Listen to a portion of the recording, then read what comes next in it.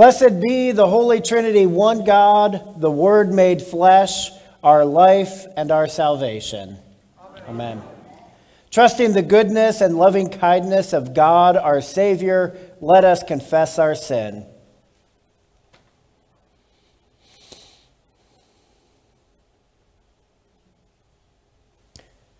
God of life, you promise good news of great joy for all people and call us to be messengers of your peace.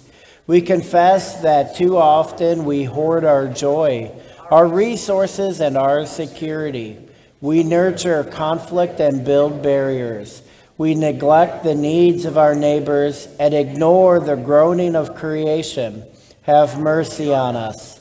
Where we are self centered, open our hearts. Where we are reluctant, give us courage.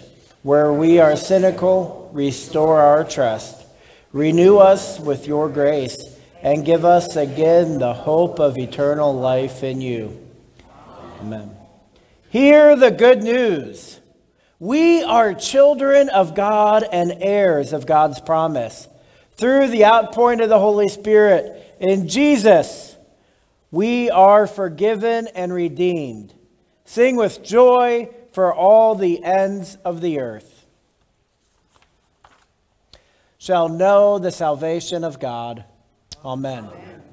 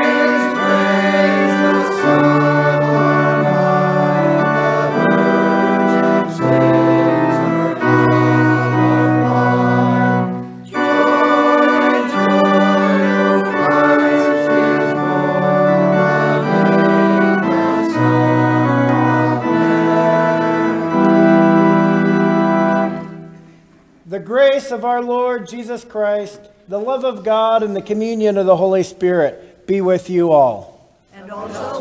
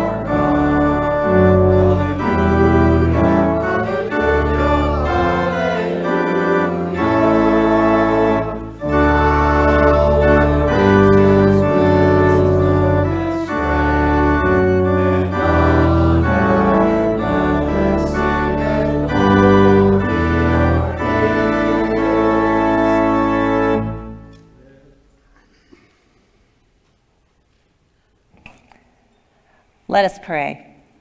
O Lord God, you know that we cannot place our trust in our own powers. As you protected the infant Jesus, so defend us and all the needy from harm and adversity, adversity. Through Jesus Christ, our Savior and Lord, who lives and reigns with you and the Holy Spirit, one God, now and forever. Amen. The first reading comes from the book of Isaiah. I will recount the gracious deeds of the Lord, the praiseworthy acts of the Lord, because of all that the Lord has done for us and the great favor to the house of Israel. That he has shown them according to his mercy, according to the abundance of his steadfast love. For he said, Surely they are my people, children who will not deal falsely, and he became their Savior in all their distress. It was no messenger or angel, but his presence that saved them. In his love and in his pity, he redeemed them. He lifted them up and carried them all the days of old. The word of the Lord. The congregation will read responsibly for Psalm 148. Hallelujah. Praise the Lord from the heavens. Praise God in the heights.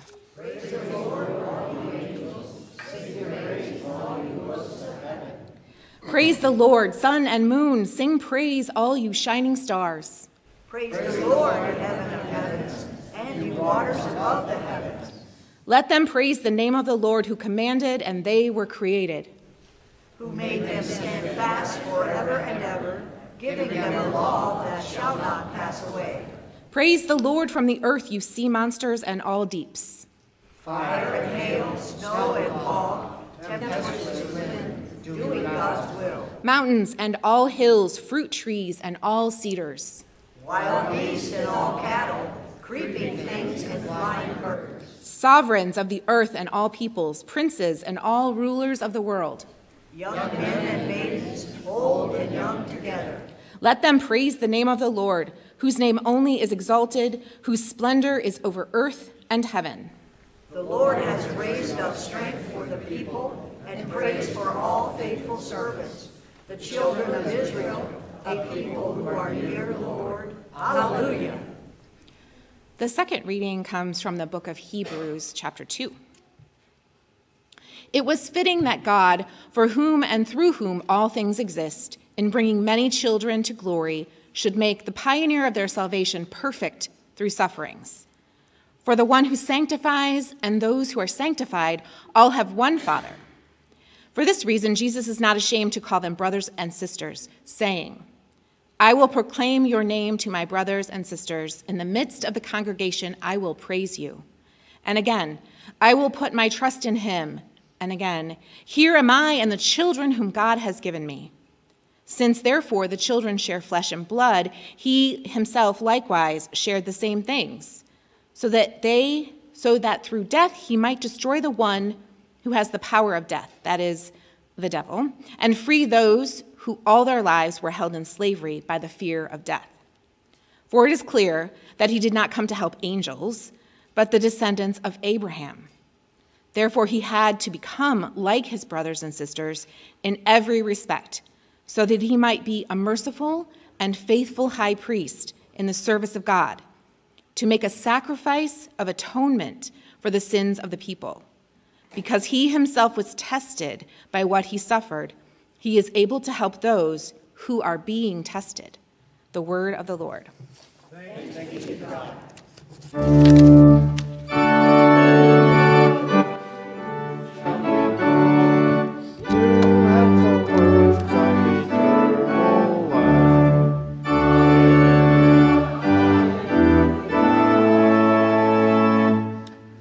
Holy Gospel according to Matthew, the second chapter.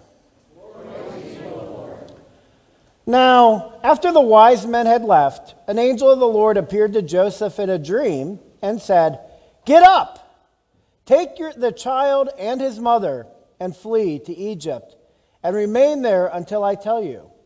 For Herod is about to search for the child to destroy him. Then Joseph got up, took the child and his mother by night, and went to Egypt, and remained there until the death of Herod. This was to fulfill what had been spoken by the Lord through the prophet Out of Egypt I have called my son. When Herod saw that he had been tricked by the wise men, he was infuriated, and he sent and killed all the children in and around Bethlehem who were two years old or under, according to the time that he had learned from the wise men. Then was fulfilled what had been spoken through the prophet Jeremiah. A voice was heard in Ramah, wailing and loud lamentation, Rachel weeping for her children. She refused to be consoled because they are no more. When Herod died, an angel of the Lord suddenly appeared in a dream to Joseph in Egypt and said, Get up and take the child and his mother and go to the land of Israel. For those who were seeking the child's life are now dead. So Joseph got up, took the child and his mother, and went to the land of Israel. But when he heard that Archelaus was ruling over Judea in place of his father Herod, he was afraid to go there. And after being warned in a dream, he went away to the district of Galilee. There he made his home in a town called Nazareth, so that what had been spoken through the prophets might be fulfilled. He will be called a Nazarene. The gospel of the Lord. Good morning and peace to you from our Lord and Savior, Jesus Christ. Amen. And Merry Christmas. We are still in the season of Christmas. Remember, the 12 days of Christmas starts at Christmas and goes forward. So, all of that time that people, that the world is celebrating Christmas in December and November, well, in really October, that's Advent and before Advent. We are now in Christmas. so, good morning. My name is Nick Bates. I'm a deacon here in our Southern Ohio Synod, and I'm called to serve as the director of an ecumenical ministry that works throughout the entire state called the Hunger Network in Ohio. We work to end hunger in Ohio by addressing the root causes of poverty through public policy advocacy. And I'll come back to that in a little bit. But before I get into my sermon today, I want to ask you all how many of you knew that we had ordained Lutheran deacons? It's more hands than I see in most churches, and I'm very excited that as I go around the state and preaching in more and more congregations, I see more and more hands going up. We're a fairly new roster. We only really came into existence. There goes my earpiece. Am I on this mic though, or do I need to? All right, let's do that then. we were, we're a fairly new roster. And people often ask, well, what is a deacon? Are you just Pastor Lights? Did you go to seminary? Yes, we did. And I like to say that pastors and deacons are kind of two sides of the same coin. Pastors are called to ministry that focuses on word and sacrament, and deacons are called to ministries focused on word and service. But in the end, all ministry, whether it's done by a pastor or a deacon, or really where most of the ministry of the church occurs is by the entire body of Christ, centers on one thing relationships. God first formed a relationship with humanity through creation, and then redeems us and restores our relationship through death and resurrection. We experience that relationship, among other things, when we receive the sacraments, when we come together in worship together. And because of that relationship that God has formed with us, this is where deacons then step in. We are then sent into the world to figure out how are we called to live in relationship with one another sometimes very difficult questions. Deacons often serve and try to answer this question as teachers, social workers, counselors, healthcare workers, and in my case, as an advocate and community organizer. But in the end, all ministry, whether done by pastors or deacons, and we all, the lines get kind of fuzzy, to be sure, but all ministry focuses on relationship. In our gospel text today, I find it interesting because with today being one week after Christmas and Christmas falling on a Sunday this year, there was about three different official readings that Pastor Dave could have picked. And when I realized which one he picked for today, I just kind of shook my head. It's not a very pleasant reading that we have. A week ago, we were celebrating this new little baby that was in a manger. It was cute, it was adorable. We talked about peace on earth and goodwill to all of mankind. This little Lord Jesus lays down his sweet head. There were stars in the sky that looked down where he lay. We celebrate that when he wakes up, and I have two young children, so this is really shocking. No crying that baby made when he woke up. Must truly be the Son of God if that baby isn't crying. We celebrated his birthday. We proclaimed peace on earth. It was a wonderful feeling a week ago. I enjoyed it. I enjoyed this past week of being able to shut out the world and focus on family games and binge watching Doctor Who and Sadly, a little too much football, including last night. It's nice sometimes to shut out the world and just live on that first day of Christmas. But just as quickly as we get that image of that baby in a manger, the Christmas story, because we're still in Christmas, turns, takes a dark turn of Herod slaughtering children. Joseph has to pick up Mary and the infant Jesus and takes them to Egypt while Herod goes on his rampage. Herod's relationship with the community was not centered on God's loving justice and mercy for the world. Instead, Herod's relationship with the community centered on Herod and how could Herod maintain power and comfort and wealth. So a week ago, we had sweet baby Jesus in that manger. That's part of our Christmas story. But that's not where our Christmas story ends.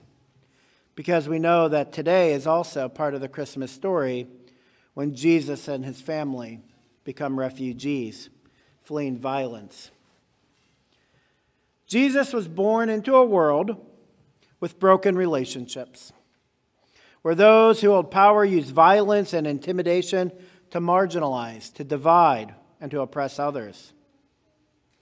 How can we as the church in 2023 go into the world and say, peace on earth, goodwill to all?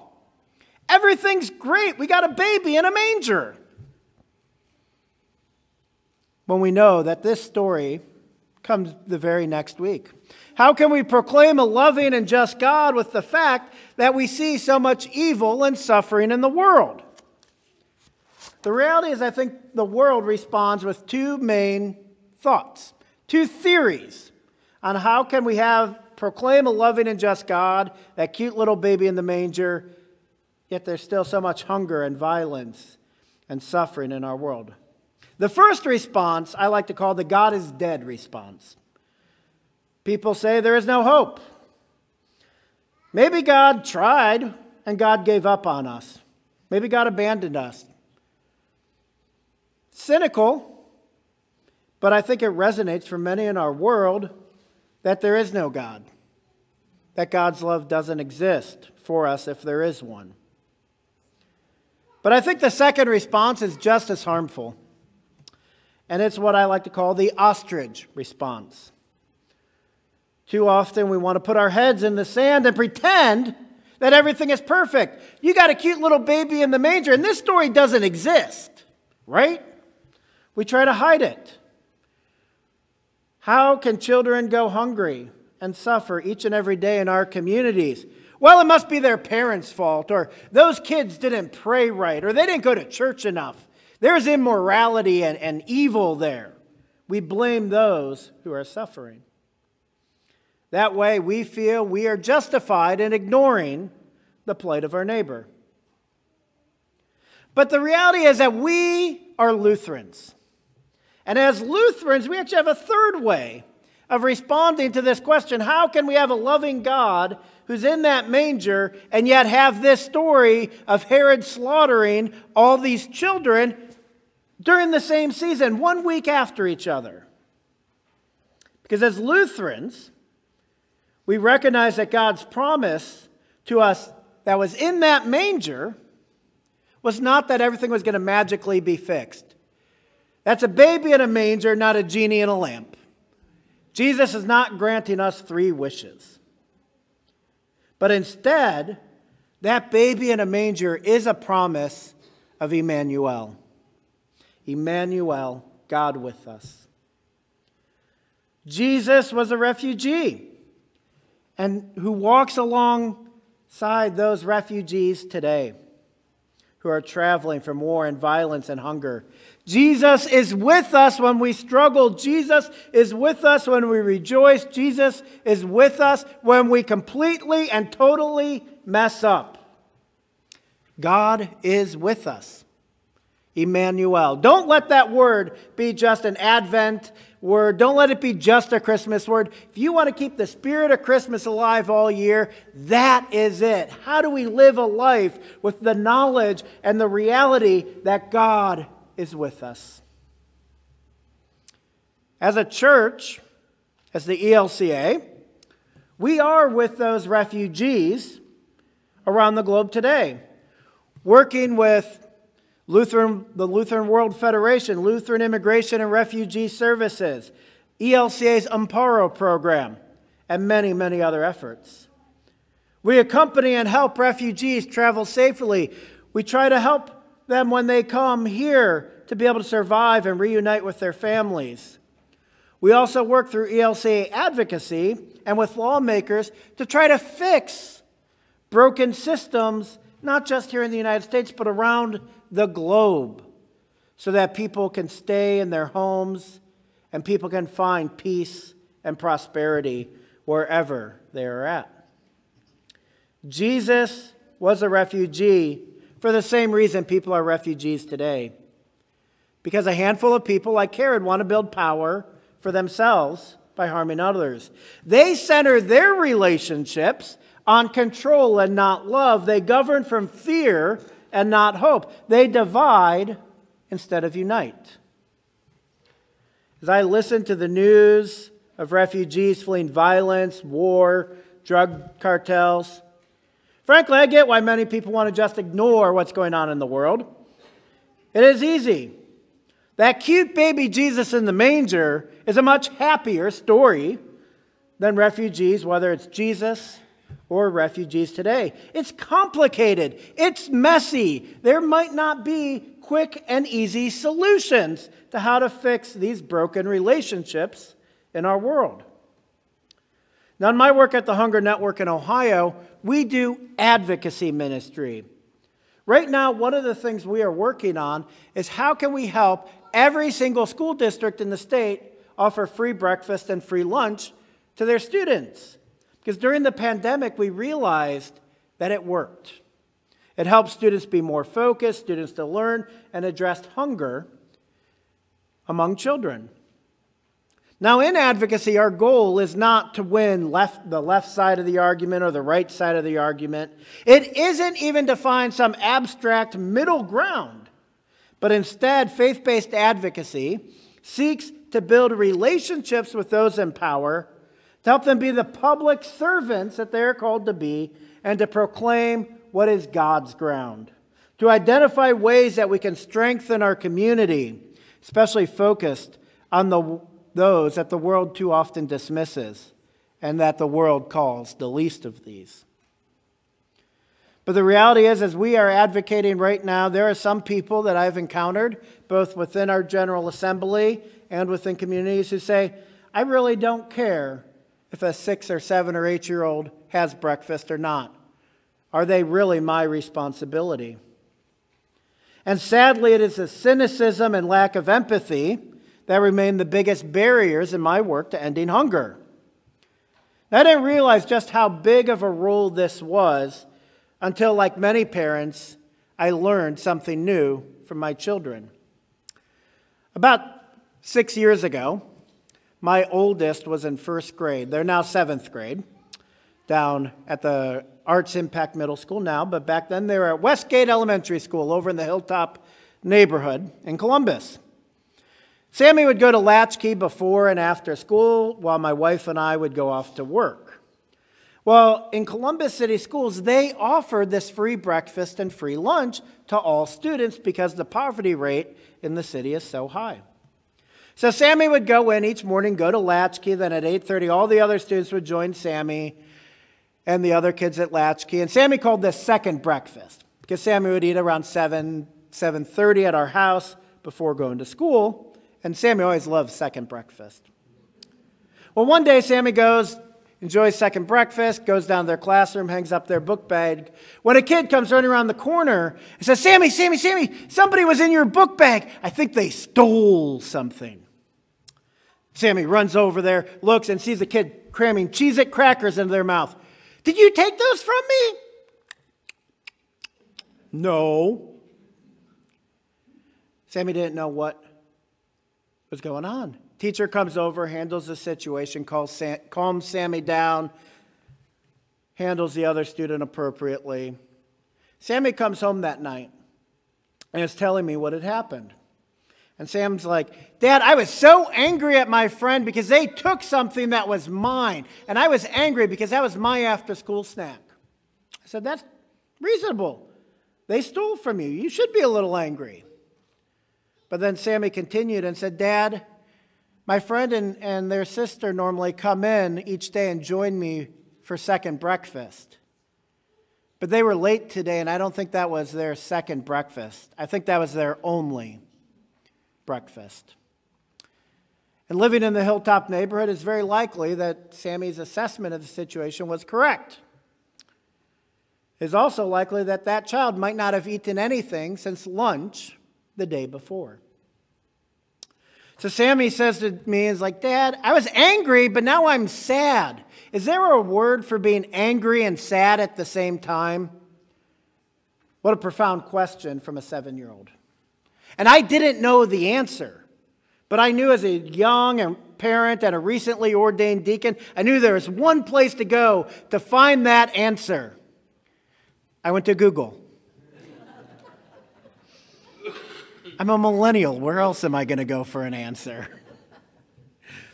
So I sit down and I type the question into the web browser, and it pops up three words bitter, sullen, and cynical. Now, as a young parent, I did not want my child having this cynicism and bitterness overtake them at such a young age. But then I remember that Google is of the world, and that is how the world responds. But we, as the body of Christ, as people who know that there is that baby in a manger and there is that empty tomb on Sunday morning, we are called to something else. We are called to respond to the suffering of our neighbor and injustice in a different way. We respond with the confidence that God is with us, Emmanuel. We replace the bitterness with love. We replace our sullen attitudes with joy, and we replace our cynicism with a deep, deep, down to the earth, deep hope. The baby in the manger gives us joy. Jesus' ministry throughout his life demonstrates God's loving justice. And that empty tomb gives us a hope that surpasses all logic and understanding. In our world today, God is with us. God has formed right relationship with us, and now God sends us into the world to form right relationship with one another as we struggle against hunger and violence in the world. God is with us as we seek to heal broken relationships in our communities. And God is with us as we lift up and amplify the voices of the hungry and the widow and the stranger in our lands. God is with us. Let me hear you all say it. God is with us. God is with us. Emmanuel. Amen.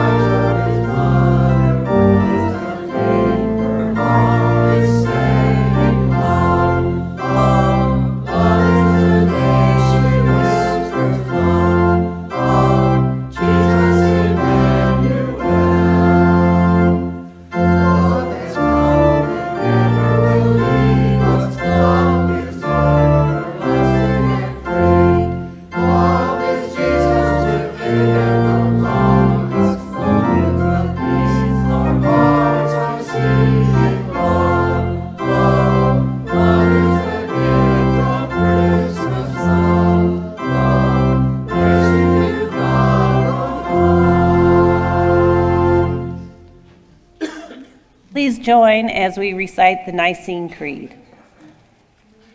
We believe in Lord God, the Father of the Almighty, maker of heaven and earth, of all that is seen and unseen. We believe in one Lord Jesus Christ, the only Son of God, eternally begotten of the Father, God from God, light from light, true God from true God, begotten, not made, of one being with the Father. Through him all things were made. For us and for our salvation, he came down from heaven and was incarnate with the Holy Spirit and Virgin Mary and became truly human. For our sake, he was crucified under Pontius Pilate and suffered death and was buried. The third day, he rose again in accordance with the Scriptures, ascended into heaven, and is seated at the right hand of the Father. He will come again in the glory to judge the living and the dead. His kingdom will have no end. We believe in the Holy Spirit, the Lord, the giver of life, who proceeds from the Father and the Son. With the Father and the Son is worshiped and glorified. He has spoken through the prophets. We believe in one holy Catholic and Apostolic Church. We acknowledge one baptism for the forgiveness of sins, and we look for the resurrection of the dead and the life of the world to come. Amen. With the wonder and thanksgiving of Christ coming into the world, we pray for the church, the life of the earth, and the whole human family. Merciful God, broaden the church's hospitality and welcome. Open our hearts to any in need and re- of refuge and help, especially those who are persecuted Prosper the work of Lutheran Immigration and Refugee Services. God of grace. Life giving God, restore the health of the soil and seas and the air. Increase the joy and praise of all living things. In the coming year, strengthen local, national, and international efforts to prevent further harm to the environment. God of grace. Liberating God, Deliver your people from cruel oppression, increase justice in every nation, and keep the dream of freedom alive. In this new year, bring the blessing of peace and put an end to violent conflict throughout the world. God of grace. Uplifting God, raise all who are bowed down by trouble and need, especially individuals and families living in poverty. Protect and nurture all children, Sustain those who parent, teach, and care for the young. God of grace. Abiding God, accompany this community in the coming year. Increase our love for one another and the neighbors we serve. Enrich our worship and deepen our faith. Sustain our pastor, Dave, and all who minister in your name. God of grace. Loving God and holy innocents who per- perish in every generation are safe in your keeping. We give you thanks and praise for all the faithful who have gone before us into everlasting life with you. God of grace. Ponder the mystery of eternal love made flesh in Christ Jesus. We commend all for whom we pray to the mercy of God. Amen. Let us pray. God of abundance, receive and bless these gifts that we have offered.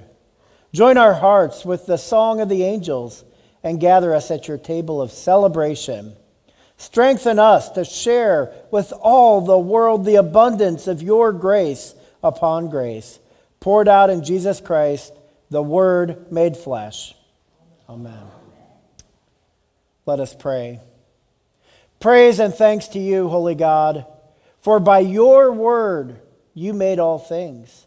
You spoke light into darkness, called forth beauty from chaos, and brought life into being. For your word of life, O God, we give you thanks and praise. By your word, you called your people Israel to tell of your wonderful gifts freedom from captivity, water on the desert journey a pathway home from exile, wisdom for life with you, For your word of life, O God, we give you thanks and praise. Through Jesus, your word made flesh, you speak to us and call us to witness forgiveness through the cross, life to those entombed by death, the way of your self giving love. For your word of life, O God, we give you thanks and praise. Send your spirit of truth, O God. Rekindle your gifts within us. Renew our faith, increase our hope, and deepen our love. For the sake of a world in need. Faithful to your word, O God, draw near to all who call on you. Through Jesus Christ, our Savior and Lord, to whom, with you and the Holy Spirit, be honor and glory forever. Amen. Lord, remember us in your kingdom and teach us to pray. Our Father, who art in heaven, hallowed be thy name. Thy kingdom come, thy will be done, on earth as it is in heaven. Give us this day our daily bread, and forgive us our trespasses, as we forgive those who trespass against us. And lead us not in temptation, but deliver us from evil. For thine is the kingdom, and the power, and the glory, forever and ever. Amen.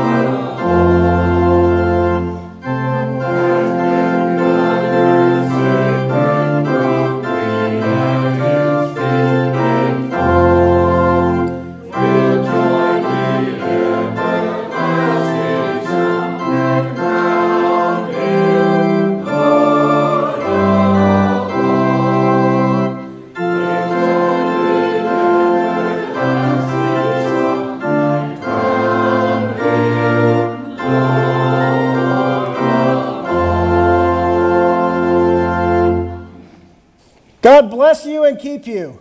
Jesus grant you grace and truth, and the Spirit send peace upon your hearts, now and forever. Amen. Christ the Savior is born. Go in peace, proclaim the good news. Thanks be to God.